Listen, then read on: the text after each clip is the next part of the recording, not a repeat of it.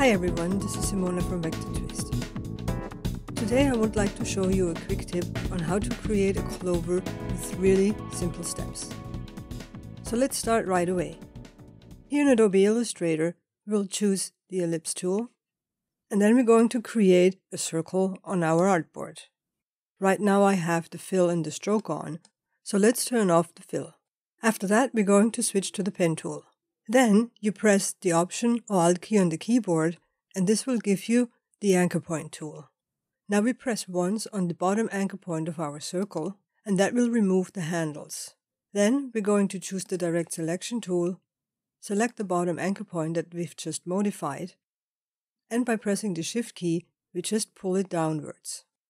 Now with the Selection tool, let's move it up a little bit, and then we go back to the Ellipse tool. We'll create two more circles. So I'm going to create another circle, approximately this size, and make sure you have your Smart Guides turned on. You can find those under View, Smart Guides.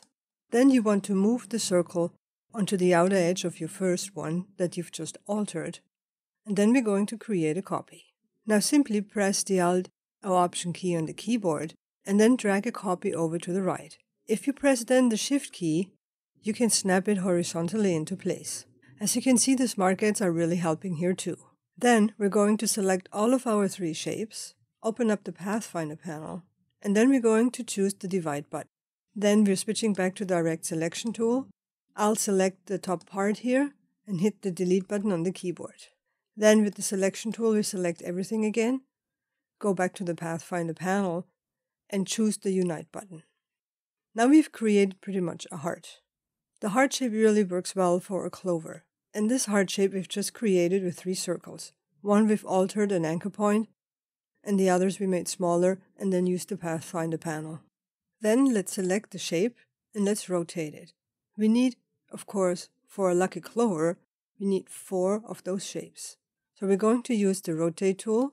Then approximately on the bottom here, we're going to press the Alt or Option key until you see the little minus with the crosshair and then click once this will give us the pop-up of the rotate tool.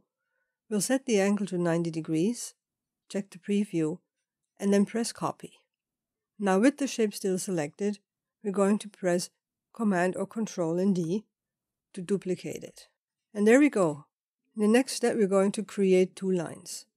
We're going to cut our clover shapes here in half. So one line over here and the other one horizontally. Since I'm using the smart guides, it snaps it right into the middle. Then I'm going to select everything and again press the divide button in the Pathfinder panel. After that, we're going to open up the swatches panel and we're going to fill our shapes with color. So I'm going to select all the left parts here with the direct selection tool. And I'm going to choose a dark green. Then I'm choosing the other side. I just press the shift key to select all of them one after one. And then use a lighter green. Then we're going to turn off the stroke and then we're going to go copy and then paste in front. Then turn on the transform tool, press E on the keyboard, and then shrink the shape down. Then you're going to select the dark parts again of your copied shape. You double click the color picker and set the color just slightly lighter. I'm using the brightness here. And then the other side, just select all of the shapes, double click the color picker, and a little bit lighter in color. And here we go. You've created really quickly, with easy steps, a four-leaf clover. I hope you enjoyed this quick tip here in Illustrator. And please come back to find out more quick tips with Illustrator and how to work faster with it. And don't forget to subscribe to the channel either. I'll see you soon.